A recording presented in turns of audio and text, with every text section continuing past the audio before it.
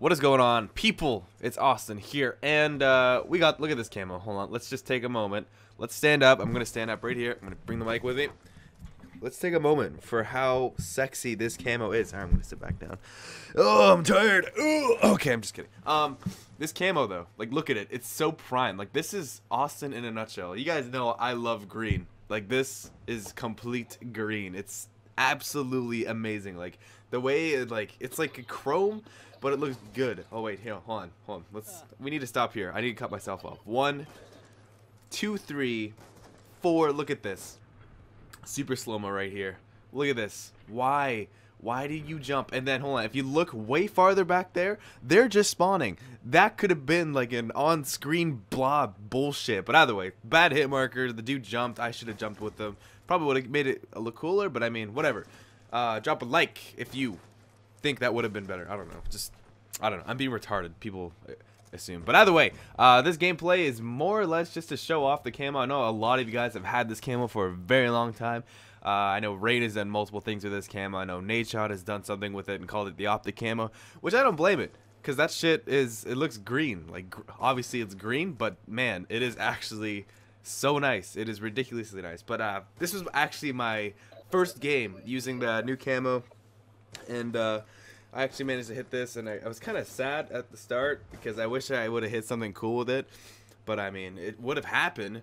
It just wasn't my fault. So I'm not the one to blame here. Blame the dude for jumping. Blame the fucking frog over there. But either way, um, I figured I would upload this. Um, also Black Ops 2, because as you guys know, I don't know if I get, did tell you guys this. Uh, my Black Ops 2 actually did break, and I have a really bad habit with breaking games. Like I don't break them. I know I hardly ever rage, like ever. It takes a lot to get me to rage. Um, but I think I've bought. I think I've bought three Black Ops 2 uh, discs, two Call of Duty Ghost discs, two COD 4 discs because they kept breaking. People uh, misplaced them and they were just. Even though I hardly play it, I still played it like once in a while. COD 4 Pro Sims on that shit was the best. Uh, I think I bought like three or four MW2s and a bunch of like two MW two or three MW3s. So I've if you if you take that, if you just like think about that, that is too many Call of Duties that have gone like wrong. And the worst part is they weren't even my fault. Actually, they probably were my fault. Honestly, I'm probably just putting it off. But I I'm one of those people that will put the disc on the desk and it'll just lay there and gather dust and scrape against shit. That's my bad. I'm sorry. I'm I, I'll be the first to admit it that I do that. I think we can all agree here that we all have done it at one point. But uh, you know what?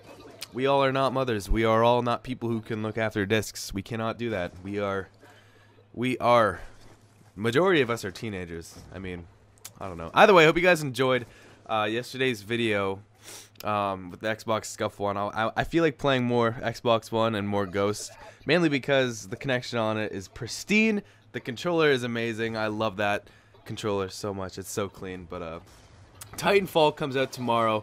Uh, you guys have to actually play the game. Like honestly, like you guys cannot play Titanfall like Call of Duty. That's just that makes no sense at all. If you wanted to play Call of Duty, play Call of Duty. Titanfall is a brand new game. But either way, I'm Austin Pamaj. Hope you guys enjoyed this video, and I will see you guys later.